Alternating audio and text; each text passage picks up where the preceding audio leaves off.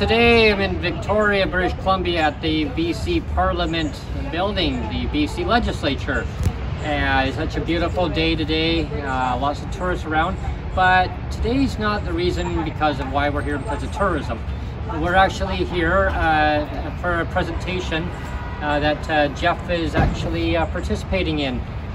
I'll let uh, Jeff go ahead and explain uh, what's going on here. Good morning, everybody. Uh, today I was in the uh, Select Standing Committee on Financial Services and Government uh, Support, uh, talking about the need for poverty level, no less than poverty level, financial support for disabled people in, in BC.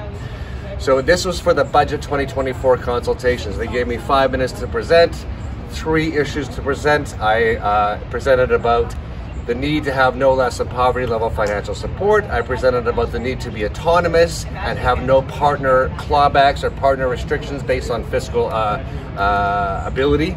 And number three, I talked about clawbacks. The need to cut all the clawbacks, uh, like CPPD or life insurance or what have you, on top of disability. So those are the three main um, uh, issues that I focused on today.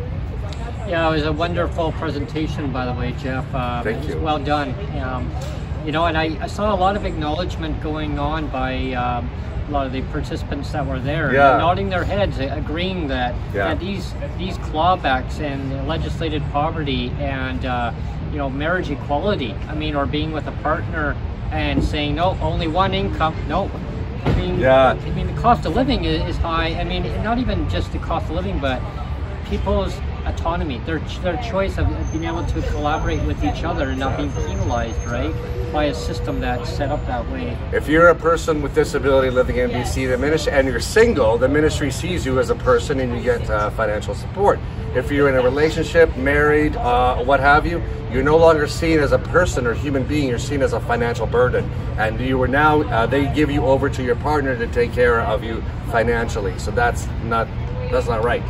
Mm-hmm. Yeah, absolutely. And, and, you know, there was another part that stood out too in the presentation, which I think was really echoed um, a lot about the financial supports of uh, the rates are well below, well yeah. below the poverty level. I mean, and the poverty level of Canada is twenty two hundred dollars as of twenty twenty. That was twenty twenty one, two years ago. We're basing this on LICO, low, low income cutoff table.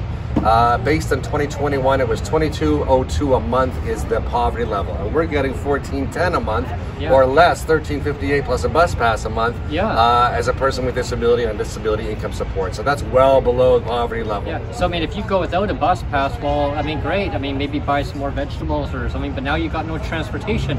Exactly. So you know, so what I want to see too is I want to see them bring back that bus pass. I mean, there was a bus pass that was in place for decades. Exactly. And then poof, it was gone. Like a, it was like a pink unicorn. Now you see it. Poof. Now you now you don't. Right. Next week we're meeting with Sheila Malcolmson, the minister, uh, it's uh, minister of social development and poverty reduction, on Monday at 1:45 p.m. We got 30 minutes. Uh, Brent, Sonia, and myself mm. to sit down with her and actually make our case really hurt.